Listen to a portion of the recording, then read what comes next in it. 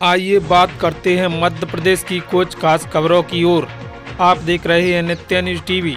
सीपरी खनिया दाना के ग्राम नंदनबारा में कुएँ में पड़ी मिली थी छतविचित लाश, जिसमें खनिया दाना थाना प्रभारी आलोक सिंह भदौरिया के द्वारा नौ दिन में ही किया अंधे कत्ल का पर्दापाश जिसमें गाँव के ही दो युवक थे शामिल, जिन्होंने कत्ल को दिया था अंजाम। मृतक के पास के खेत में ही दोनों युवक पी रहे थे शराब।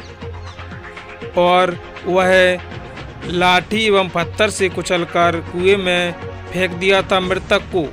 पुलिस ने मुखबिर की सूचना पर की पूछताछ और किया अंधे कत्ल का पर्दाफाश। ये थी खनिया दाना से मुकेश प्रजापति की रिपोर्ट। दिनांक 24-25 तारीख की रात में ग्राम नंदनवारा में एक बाबूलाल जाटव की लाश कुएँ में मिली थी। सुबह जब सूचना मिली थी, पुलिस मौके पर पहुँची थी, उसकी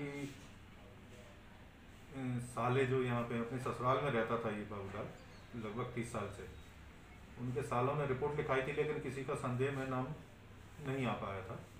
अज्ञात आरोपियों के खिलाफ मुकदमा कायम हुआ था।